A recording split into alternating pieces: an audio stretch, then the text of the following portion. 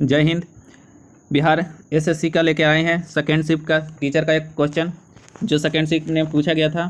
चलिए question number one में करा कि बिहार मध्य निषेच और उत्पाद शुल्क में संशोधन अधिनियम 2022 के अनुसार शराब की धुलाई करने वाले, यानी धुलाई करने वाले वाहनों के छोड़ हुए ज़मीन के रूप में कितनी राशि के प्रतिशत देना होगा? जिसका राइट आंसर हो जाएगा ऑप्शन नंबर ए अगला क्वेश्चन देख लेते हैं। क्वेश्चन नंबर दो, कि एयरबस एवं बोइंग से मुकाबले के लिए किस देश ने सी नाइन्टी वन नाइन यात्री विमान बनाया है। तो ऑप्शन ऑप्शन नंबर इसका राइट आंसर हो जाएगा ऑप्शन नंबर बी चलिए अगला क्वेश्चन क्वेश्चन नंबर तीन देख लेते हैं।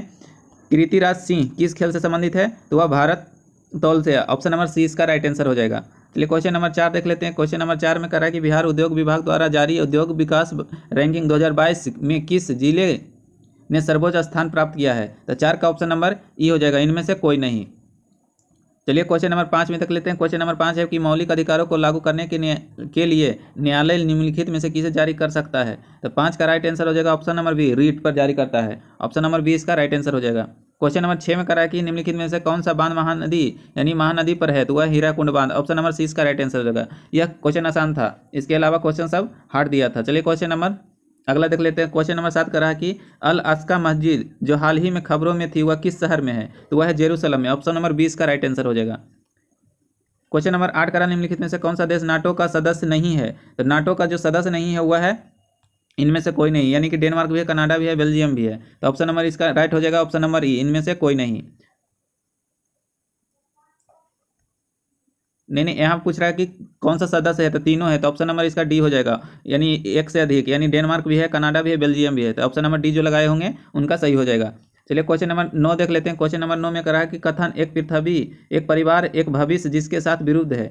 इसका नाइन का राइट आंसर हो जाएगा option number B G twenty है। चलिए अगला क्वेश्चन देख लेते हैं। क्वेश्चन नंबर दस में करा है कि क्यूड के संबंध में निम्नलिखित में से कौन सा कथन सही है? तो दस का राइट आंसर हो जाएगा ऑप्शन नंबर डी उपयुक्त इनमें से एक से अधिक। ऑप्शन नंबर डी जो लगाए होंगे, उनका सही हो जाएगा। क्वेश्चन नंबर ग्यारह है। आसान क्वेश्चन है कि कौटिल्य किस स्थान के राजनीतिक विज्ञान अर्थशास्त्र के अध्यापक थे? तो वह तत्शिला से थे। ऑप्शन नंबर ए इसका राइट आंसर हो जाएगा। अगला क्वेश्चन देख लेते हैं। क्वेश्चन नंबर बारह का रहा है कि बिहार में सत्रह सौ इक्यासी के विरोध, विद्रोह के बारे में निम्नलिखित कौन सा कथन सही है? तो बारह का राइट आंसर हो जाएगा। Option number D option number D जो लगाए होंगे, इसका राइट आंसर हो जाएगा। क्वेश्चन नंबर तेरह में करा है कि भारत ने किस देश के साथ मिलकर net zero innovation virtual centre बनाने की घोषणा की है? तो तेरह का राइट आंसर हो जाएगा ऑप्शन नंबर डी। जो डी हो जाएगा। चलिए अगला क्वेश्चन क्वेश्चन नंबर चौदह में करा है कि भारत की वन उद्घाटित संसद में सदनों के लिए कुल कितने सीटों की प्रबंधक किया गया है? तो वह चौदह का हो जाएगा ऑप्शन नंबर बी। बारह सौ बहत्तर। क्वेश्चन नंबर पंद्रह में करा है कि भारत सरकार ने किसान बीमा दावों के लिए कौन सा ऑनलाइन प्लेटफॉर्म लॉन्च किया है? तो पंद्रह का राइट आंसर हो जाएगा option number A question number सोलह में करा है कि नासा के मून टू मार्स प्रोग्राम के प्रमुख के रूप में किन्हें शुल्क किया गया है? तो सोलह का राइट आंसर हो जाएगा option number C Amit Kshatriya. Question number सत्रह में करा है कि भारत में उन्नीस सौ बावन की राष्ट्रीय वन नीति में उल्लेखित देश के कुल भौगोलिक क्षेत्र में वन के वंचित प्रतिशत कितना है? तो सत्रह का राइट आंसर हो जाएगा ऑप्शन नंबर बी तैतीस प्रतिशत। कितना है? तैतीस प्रतिशत।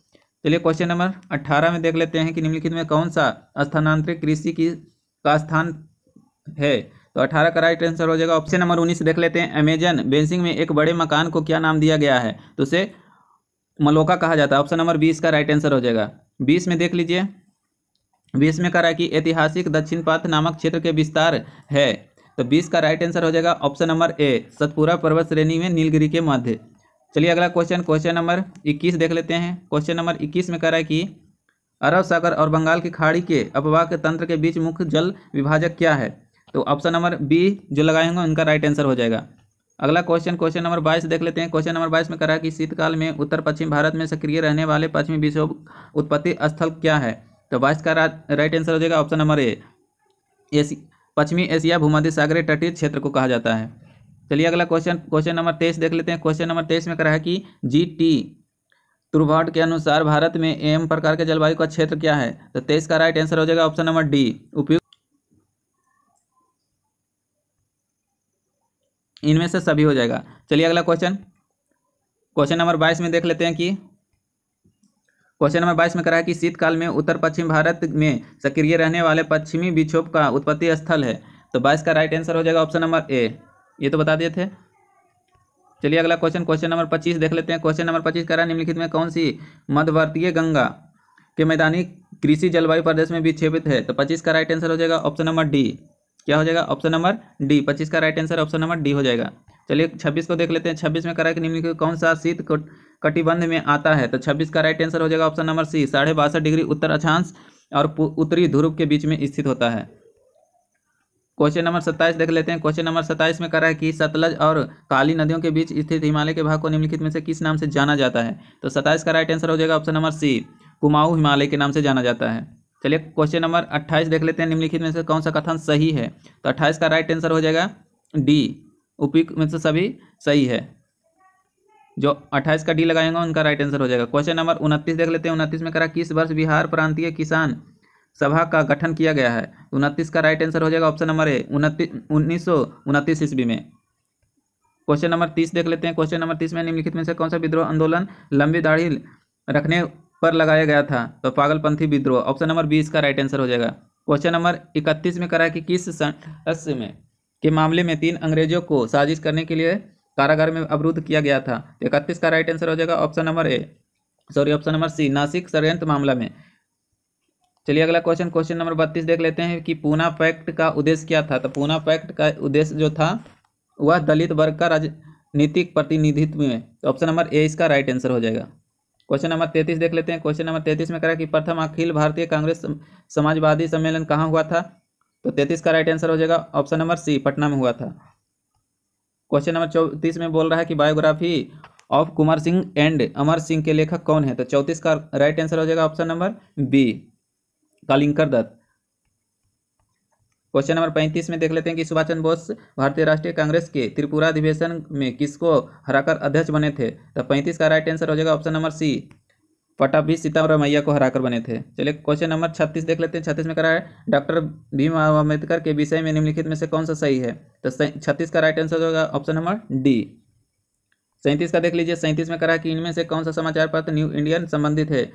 तो सैंतीस का राइट आंसर हो जाएगा option number B Annie Besant से।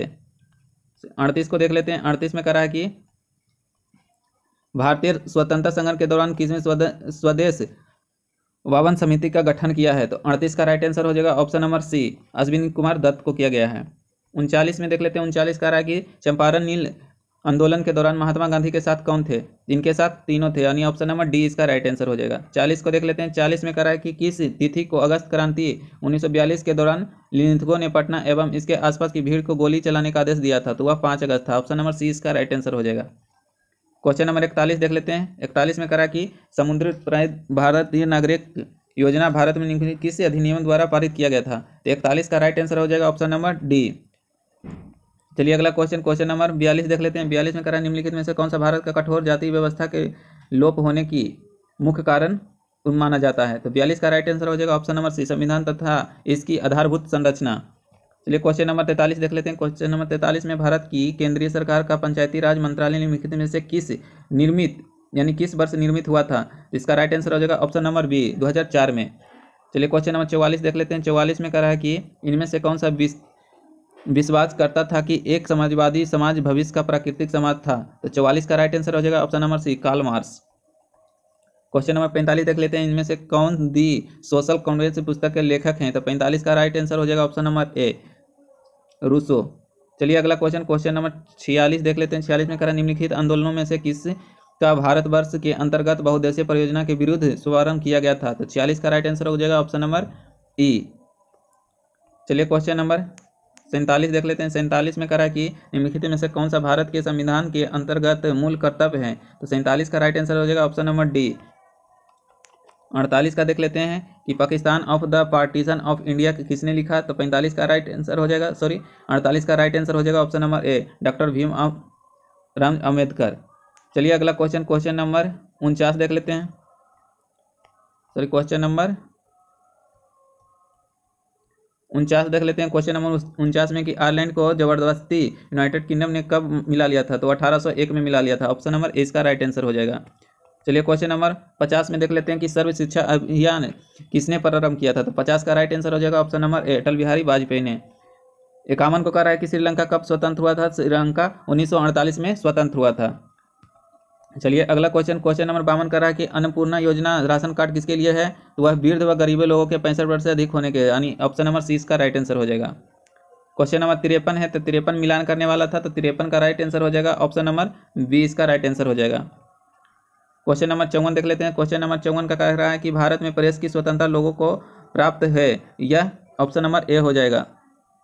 चौवन का भी right answer option number A हो जाएगा। पचपन का भी देख लीजिए, मिलान करने वाला है तो पचपन का राइट आंसर हो जाएगा। ऑप्शन नंबर बी इसका भी हो जाएगा।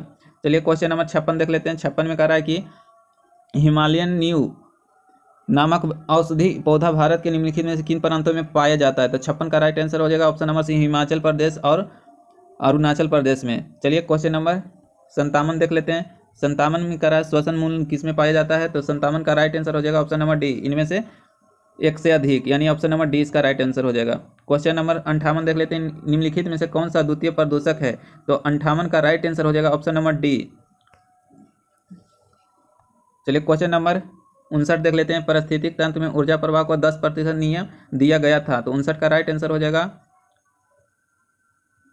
लिनाटको द्वारा। ऑप्शन नंबर सी इसका राइट आंसर हो जाएगा।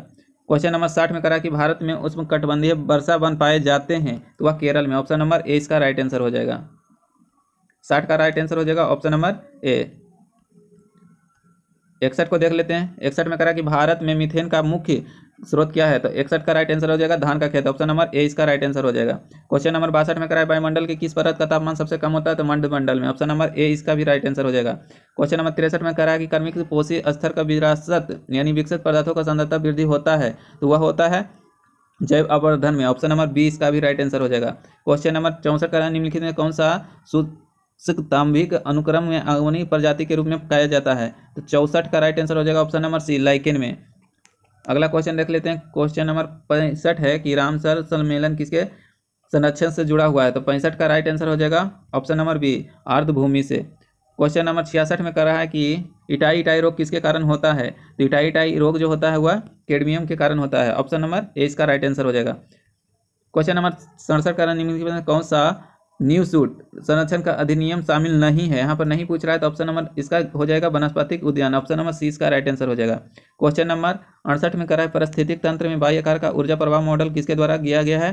तो अड़सठ का राइट आंसर हो जाएगा ओडम यानी ऑप्शन नंबर सी इसका राइट आंसर हो जाएगा। क्वेश्चन नंबर उनहत्तर में करा है कि एसओ टू प्रदूषण सूचित होता है तो उनहत्तर का राइट आंसर हो जाएगा लाइकिन द्वारा। ऑप्शन नंबर ए इसका राइट आंसर हो जाएगा। सत्तर में करा है सलीम अली पक्षी अभ्यारण कहाँ है? तो सलीम अली पक्षी अभ्यारण जो है वह है मध्य प्रदेश में। ऑप्शन नंबर बीस का राइट आंसर हो जाएगा।